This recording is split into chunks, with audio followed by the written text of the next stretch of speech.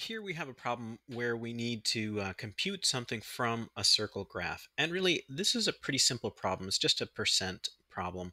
Um, all it does is require reading a graph first. Let's read the question. It says, the circle graph shows how the annual budget for a company is divided by department. If the amount budgeted for editorial and engineering combined is 20 million, what's the total annual budget. So basically what's that what that's asking is if you take editorial and engineering and add those together and that equals 20 million dollars, well, what does this whole pie equal?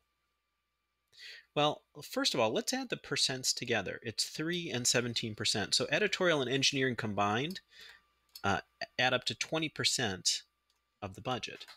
And if we want to um, write this as a, a, little equation, we could say, well, I'll convert 20% to a decimal. So 0.2 of the whole pie is 20 million.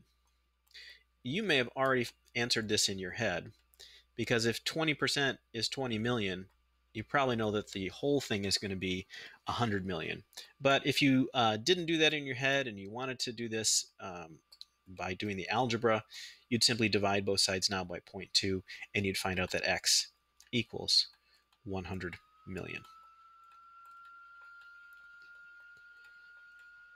So we just want to read off the graph, add together the pieces, and then set up a little um, equation with our percent. So that's a little bit of work with uh, doing some computations from a circle graph.